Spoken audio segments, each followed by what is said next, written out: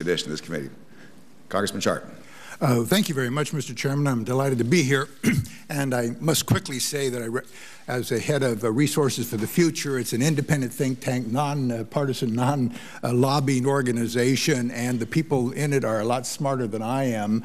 Uh, and so these are strictly my uh, comments from my experience and uh, on, on, a variety of commissions as well as here in the uh, House of Representatives. Let me quickly say my plan is just to provide a few contextual things about where we are in public policy on energy as well as where the markets are. Um, this committee, many of you are way ahead on these issues, and this is probably not particularly relevant, uh, but I think it's very important in the public discussion that we try to get a better perspective on what really goes on with energy policy and with our markets. Uh, let me say, obviously, as everyone here knows, energy is absolutely essential to our modern uh, economy and to any economic growth that we want to have. It also has implications for our national security, and it also has consequences for health, safety, and the environment. And our practical problem is there is no policy, there's no set of policies that will serve all of these goals, so we're always in conflict, and it comes right here into this committee and everywhere else over it. And frankly, the American people and others should reduce some of their expectations about what can be accomplished and how it can all fit together logically. This is a vast country, this is a vast problem, and we're going to come at it over time in many different ways.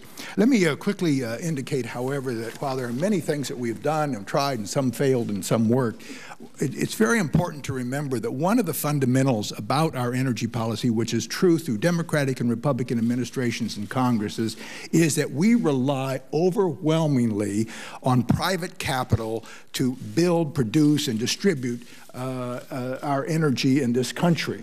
And nobody I'm aware of wants to stop doing that.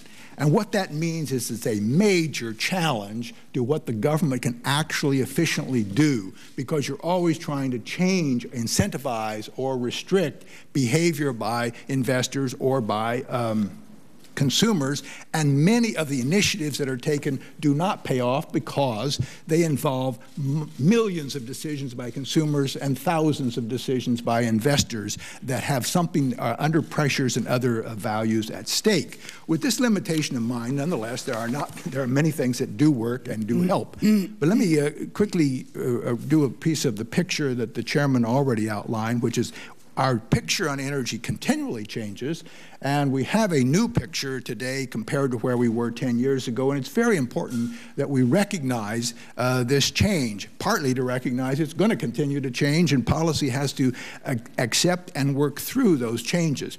First, we have a vast array of new technologies that have come into the marketplace in this decade. I don't care whether it's in oil production, gas production, solar, uh, nuclear, or uh, efficiencies and technologies and vehicles. It is amazing and most of it was not predicted to happen by academics, by industry, or by a government when the turn of the century came about. Uh, many of these things were quite well known, but nobody expected them to take hold the way they did. Second of all, we have a radical change in our supply of natural gas and the projected supply of natural gas, again, unanticipated at the beginning of the decade. Third, we have a decline, again under predicted, and, uh, in our oil imports, uh, which is viewed as very positive from a security standpoint, with a projection that it will continue if we don't mess it up. Fourth, we have a, a actually decline in our carbon dioxide emissions uh, uh, in this system with a projected minimal growth over the next decade. This is a positive development. Some of it, of course, is just the consequences of the uh, unfortunate slowdown in the economy, but others represent actually uh, improvements in efficiencies and fuel switching and other things that have gone on more to be done in the view of many people on this front, but these, this is progress. Now, why did this happen? Let's remember the power of price at the outset because we almost always want to deny it in public conversations in this country. First, we had a very high rise in natural gas prices at the turn of the century, less than a decade ago. It was followed within a few years by a very high rise in oil prices. And by the way, again, neither academics, the government, nor uh, uh, the industry predicted, uh, a few individuals probably did, but they ended up to write their books and get rich after the fact. Whether they actually knew it ahead of time is not clear. Uh, the, the truth is that had a powerful impact on the behavior of consumers, investors, and, and government policy. Second of all, obviously the entrepreneurial risks that people are willing to take, like Mr. Hamm uh, and, uh, and others, have been powerful, whether it's in oil, in the new natural gas supply, in the new nuclear uh, plant that is about to be built in this country, uh, in solar, in, in a whole bunch of uh, resources. We require that entrepreneurism across the board if we're going to be effective. Nobody in this group, I'm sure, uh, would deny the importance of that. Third, uh, reason for this change is because many of these technologies that came in the marketplace for production or for demand reduction were actually the result of decades of research, some of it by the private sector, much of it supported in some level by the public sector, some of it in public sector like our national laboratories it's very hard to unsort that mix of which is which, but nobody should misunderstand that both are important and government policy and government expenditure uh, helped advance these technologies that now are, we've sucked into the marketplace. And the fourth finding, there of course have been policies at state and federal level that have helped incentivize, and this, uh, this committee itself uh, has been very active uh, in that, helped us both the efficient technologies and promoted adoption in the marketplace. Many of these policies, I would suggest to you, actually followed on the price increases that drove the incentives for the marketplace as well as the political incentive uh, for Congress and others to make decisions. Now, let me suggest to you that um, while this picture is, is uh, uh, in my view, a very positive development compared to where we were 10 years ago, obviously it was marred this past in the last couple of years by that massive blowout uh, in the Gulf of Mexico and marred by uh, the, the events at Fukushima. These are high-risk uh, operations. We are in a position around the world where we do things big. We're going to be taking big risks, and we have to be smart about how to mitigate those to the extent we can. I am not one who thinks we can just walk away from all these risks, but I do think we have a serious responsibility, uh, governments and industry, to uh, minimize uh, their impact. Now, this new natural gas supply is the overwhelming development uh, in our energy picture that was certainly unanticipated. And I, many people believe, and I certainly believe, this is a powerful economic benefit to this country. But we cannot mistake that there are major challenges in this development that have got to be taken seriously, whether they're impacts on air, on uh, methane leakage, on water. Uh, and some in industry are being extremely responsible about this, and frankly, some are not. We have many players in this uh, new and dynamic uh, field, and government has to be smart and careful in the way it regulates, but we have to take seriously, as the National Petroleum Council uh, study of last summer makes very clear this is a, a very much of an industry, along with other NGOs and others involved in this. It's a federal advisory committee, as you folks well know, um, which said you've got to have responsible development. You've got to take these issues seriously uh, for us to be able to capitalize and maintain a good uh, thing. The other, there are other challenges. Oh, excuse me, Mr. Chairman. I will, I will stop with one more challenge, and that is this is not just changing the natural gas picture. This is changing the picture of all other major energy sources in this country. And as you make policy, you need to think through what's going to be undermined and what's not by this e enormous uh, development. Sorry, Mr. Chairman. No problem. Thanks. Thanks very much, Congressman. Dr. Jorgenson, you're next. Uh, as the chairman has you, uh, I'm a professor at Harvard University. Uh, I've taught in the Department of Economics there since 1969. I devoted a good part of my relatively lengthy career as an economist to the topics that we are here to debate today. And it's a very great privilege for me to participate in this panel and to join you in your deliberations. I would like to discuss three issues. To fix ideas, I'm going to associate a number with each one of them. And the first number that I'd like you to remember is 1.5% of the GDP. What is this?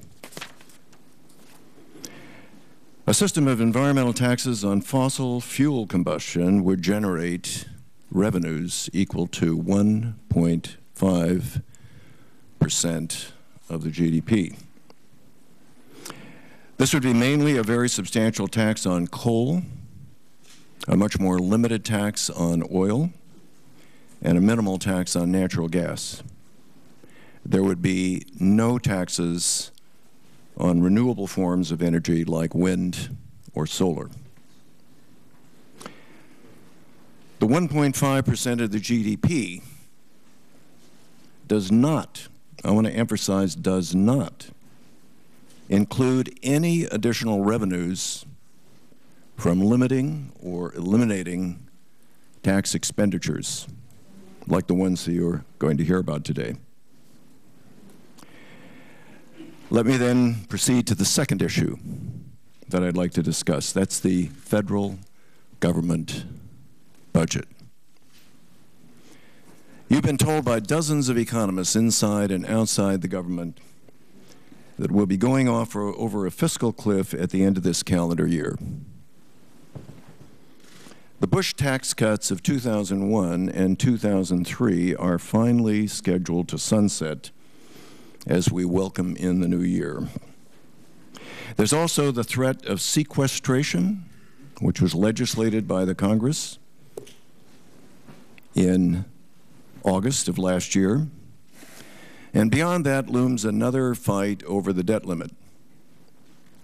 Douglas Elmendorf, the highly respected director of the Congressional Budget Office, has told you that all of this will produce another recession. So the number I'd like you to remember here is 2% of the GDP. This is the difference between the federal revenue of 17% of the GDP in 2011, which is the last year for which we have real numbers, and 19%, which is the long-term average of federal revenue in the GDP for the last 30 years. This is the minimum that I think we can expect that revenue will contribute to closing the budget gap that looms ahead of us. The third issue is comprehensive tax reform. Ranking Member Hatch has reminded us that that is the subject of these hearings. The number there I'd like you to remember is 7 trillion. To paraphrase that great U.S. Senator after whom this building is named, a trillion here and a trillion there, and pretty soon you're talking about real money. So what is the seven trillion? This is the cumulative impact of a carefully designed system for comprehensive tax reform. Seven trillion is more than sufficient when added to our national wealth of 60 trillion to put our labor force back to work, and to resolve our fiscal crisis. In short, it would enable us to achieve a fiscal policy that is sustainable. Let me summarize. We're not here to debate energy policy alone. We're not here to debate comprehensive tax reform alone. We're not here to debate the federal government's budget alone. We're here to see how all three can be fitted together to solve our budget problem, to clean up our environment, and to give a positive thrust to the growth of our long ailing economy. Thank you very much. Thank you, Doctor. Within time, too. Dr. Hamm.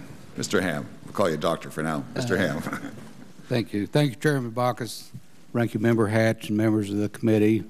It's an honor and a privilege for me to be here today. I'll be speaking on my own behalf, uh, not, not as representative of Continental Resources, nor I'm not here on behalf of the Romney campaign, for which I serve as an energy advisor.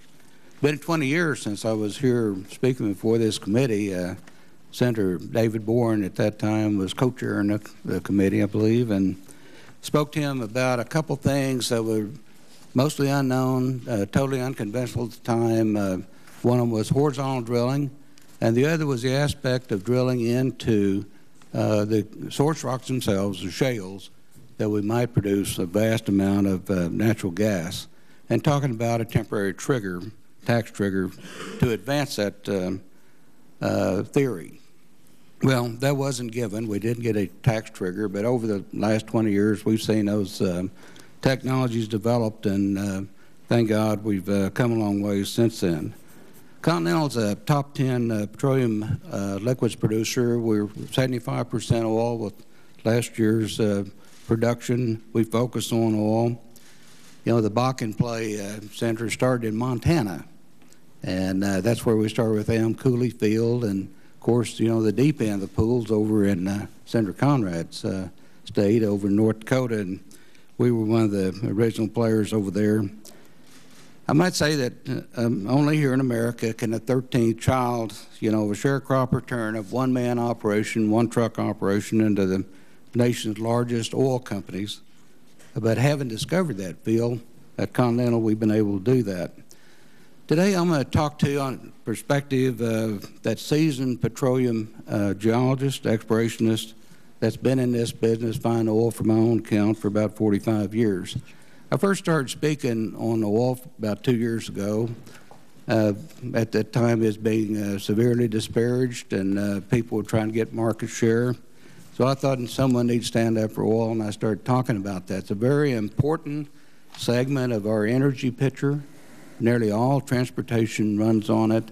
There's hardly a jet plane anywhere that burns anything besides oil products.